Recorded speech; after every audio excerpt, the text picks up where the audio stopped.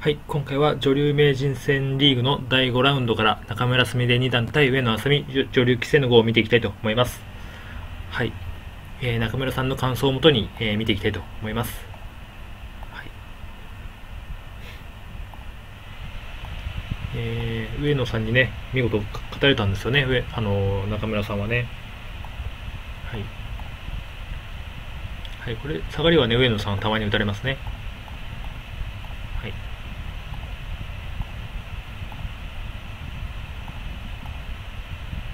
まあ、当然隅からもあるんですけど今回はこちらから打たれましたね。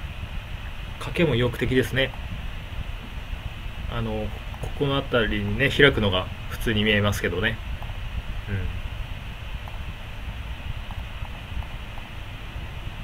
ん。あーここ跳ね継ぎを打ってくれるんですね。うん。まあ例えば曲がりぐらいでねここで手を抜いてこの辺り開くとかはね全然打てると思うんですけどね。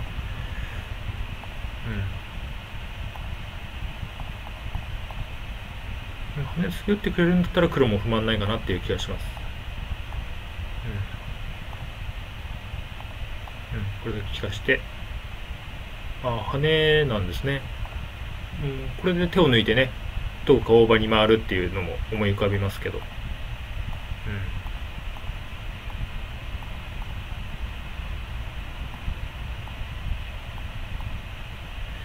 はい。思わぬとこからね、ここ戦い始まりました。うん。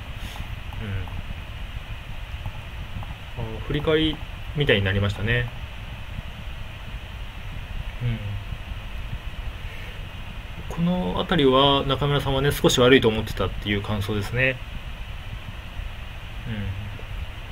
うん。うまく捨てられたっちゃったでしょうか。うん、ここ入りましたね。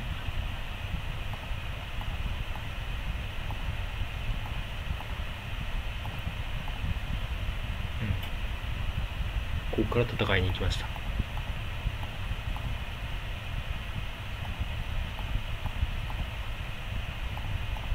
うん、一応取り込みましたね。うん。ただまあ、白もこちら白地になってますので、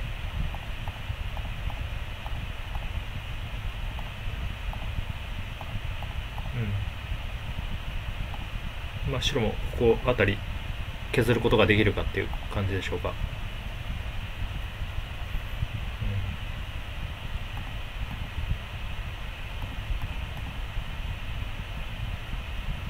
あこれはこの石取られたんですね、黒ね。ただこの石を取って、ここでもまた振り返りとなりましたね。うん。この振り返りはそんなに悪いと思ってなかったみたいですね、中村さんは。うん。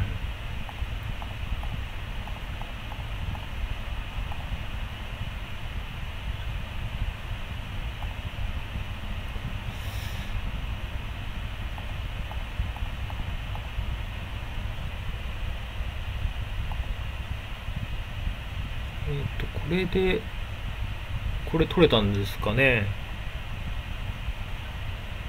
うん、これは、ちょっとここだけやってみると、こう打ったら、これ伸びると、これで、あの、黒が取られてる気がするんですけど、こうやって脱出しようということでしょうかね。この白も、ちょっとややこしいですけど、うん、これどうなってるんですかね。ちょっとややこしいですけど、ちょっと取られちゃったみたいですかね。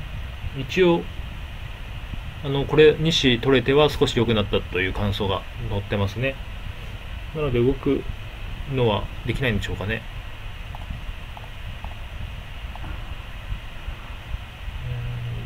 うーんと。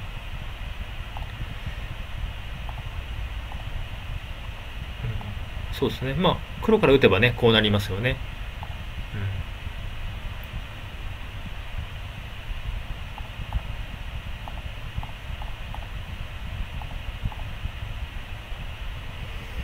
うん。うん。これで上辺がね、どれぐらい減らせるか。うん、ここまでいけましたね。うん。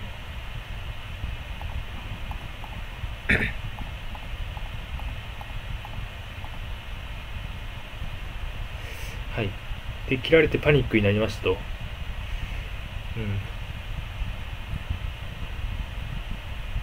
えー、っと、まあ普通にここから当てていけばよかったんですけど、えー、考えすぎましたという感想ですね。切って、はい。これはどうなってますか、うん、また振り返りみたいになりましたね。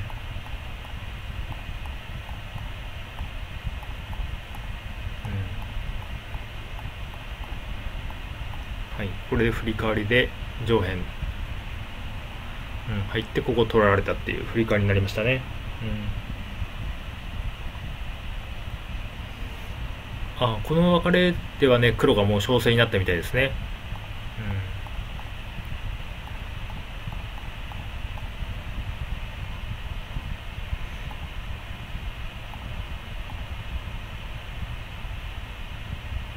はい、これではもうね、すぐ、あの、ここ当たりぐらいでね、この手では当たりぐらい打っていって全然良かったんですけど、はい、このハサミつけるね、勝負手を与えてしまったようですね。うん、これでこうになりました。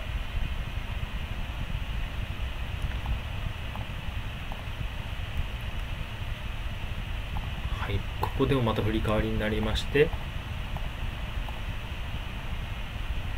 まあ、生きれるだけではね白に生きられてしまいますから、はい、この巨大な